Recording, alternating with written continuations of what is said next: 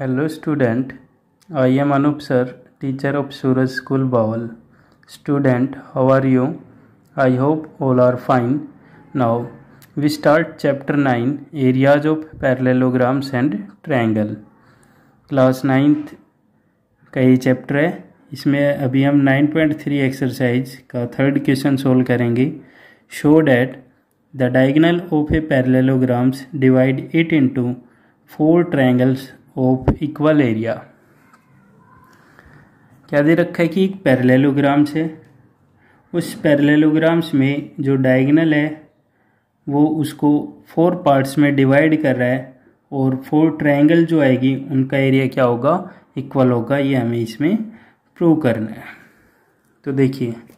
सबसे पहले हमने एक पैरेललोग्राम्स ड्रॉ किया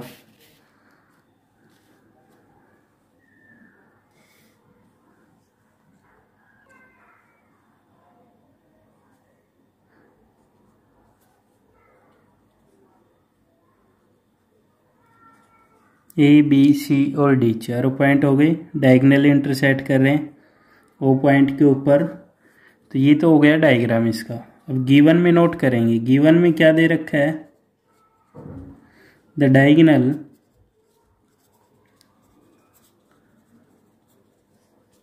A C and B D of a parallelogram A B C D intersect intersect each other at point O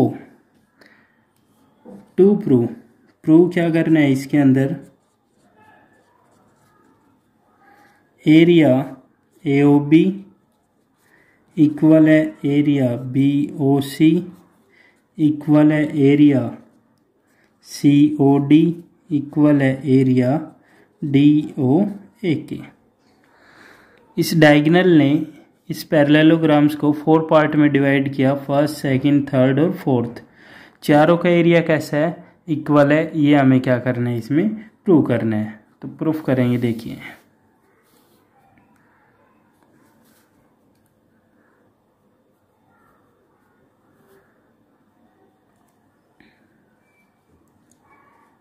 proof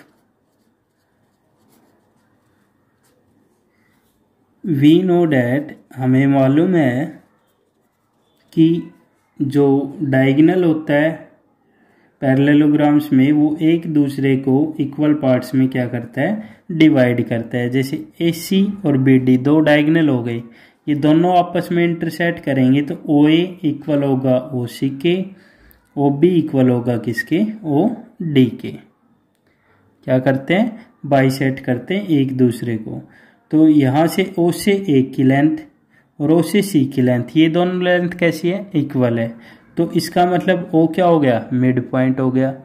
और जब इस मिड पॉइंट को ओ को वर्टिक्स बी से ज्वाइन करेंगे तो ये क्या हो जाएगा इसका मीडियन हो जाएगा और मीडियन क्या करता है किसी भी ट्रायंगल को टू पार्ट में डिवाइड करता है और दोनों का एरिया क्या आएगा इक्वल आएगा ठीक है तो the diagonal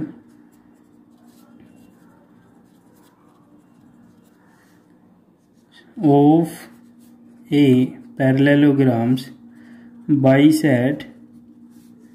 each other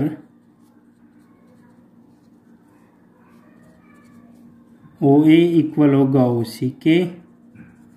और ओ बी इक्वल होगा ओ डी के तो हमने triangle Lee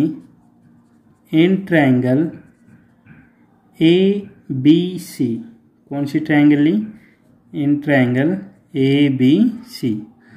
A B C के अंदर ओ बी क्या हो गया मीडियन हो गया O B is a median और मीडियन क्या करेगा इसको टू पार्ट्स में डिवाइड करेगा और दोनों के एरिया क्या आएगा इक्वल आएगा तो area A O B equal होगा किसके एरिया बी ओ सी के और ये हमारे पास क्या हो गई first equation A B C triangle को लिया हमने ओ बी मीडियन हो गया टू पार्ट्स में डिवाइड किया दोनों का एरिया क्या हो गया इक्वल अब हम ट्राइंगल लेंगे कौन सी ट्राइंगल लेंगे बी सी डी ट्राइंगल लेंगे और बी सी डी ट्राइंगल में ओ सी मीडियन हो जाएगा तो टू पार्ट्स में डिवाइड होगा तो बी ओ सी किसके इक्वल आ जाएगा सी ओ डी के अब हम ये ट्राइंगल लेंगे A C D O D median हो जाएगा टू पार्ट्स में डिवाइड करेगा दोनों ट्राइंगल का एरिया क्या हो जाएगा इक्वल हो जाएगा तो इसी टाइप से जैसे हमने ये सोल्व किया है ए बी सी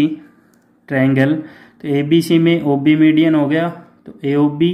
और बी ओ सी क्या हो गया इक्वल हो गया फर्स्ट इक्वेशन हो गई similarly area B O C किसके इक्वल आ जाएगा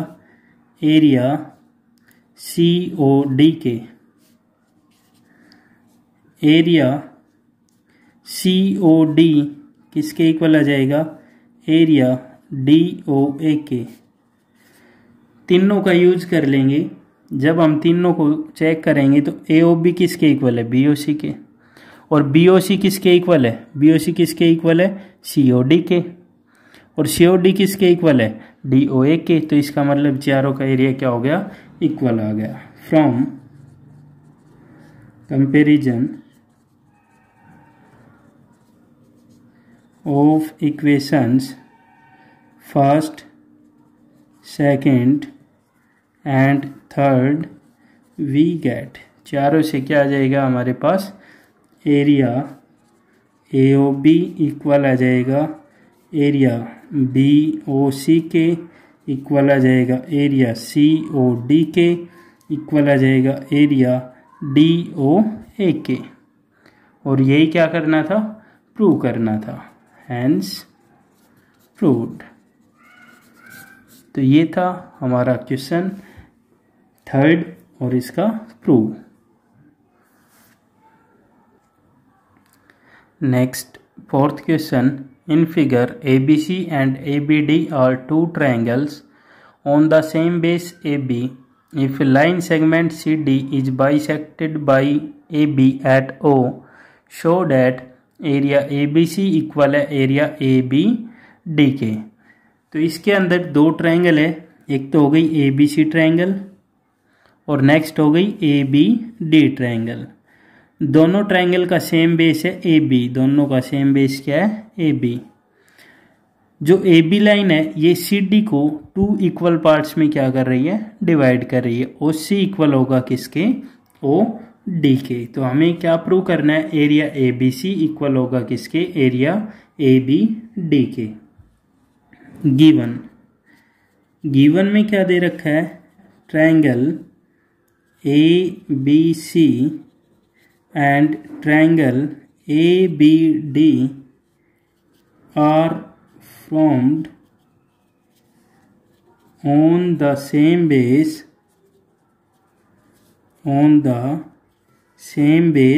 AB, the line segment CD is bisected by A B at O given हो गया टू प्रूव क्या प्रूव करना है इसके अंदर area A B C equal है एरिया ए बी डी के तो कैसे प्रूव करेंगे वो देखिए प्रूफ इस ट्रायंगल को लेते हैं ए सी डी ट्राइंगल को ए सी डी ट्राइंगल में ओ ए मेडियन हो जाएगा क्यों क्योंकि ओ सी और ओ डी दोनों इक्वल है जब ओ और ए को आप ज्वाइन करेंगे चेक करेंगे तो ये ओ ए क्या हो जाएगा इसका मीडियन हो जाएगा और मीडियन क्या करता है ट्रायंगल्स को टू पार्ट में डिवाइड करता है दोनों का एरिया क्या होता है इक्वल तो हमने इन triangle A C D A C D में क्या हो गया ए ओ इज ए मीडियन और अगर ये मीडियन है तो ये इसको टू पार्ट्स में डिवाइड करेगा दोनों का एरिया क्या आ जाएगा equal area A O C equal है किसके एरिया ए ओ डी के और ये क्या हो गई हमारे पास first second in triangle B C D B C D के अंदर क्या हो जाएगा अब ओ बी हमारा मीडियन हो जाएगा तो बी ओ या O B is a median ये इस ट्रायंगल का मीडियन हो गया तो मीडियन इसको क्या करेगा टू पार्ट्स में डिवाइड करेगा दोनों का एरिया क्या होगा इक्वल हो जाएगा ठीक है तो area B O C equal आ जाएगा किसके एरिया बी ओ डी के और ये क्या हो जाएगी हमारे पास सेकंड ये वाली ट्रायंगल और ये ट्रायंगल दोनों क्या आ जाएगी इक्वल आ जाएगी क्या करेंगे दोनों को ऐड कर लेंगे adding first and second we get दोनों को ऐड करते हैं area A O C plus area B O C equal है area A O D plus area B O D तो ए ओ सी और बी ओ सी को ऐड करेंगे तो देखिए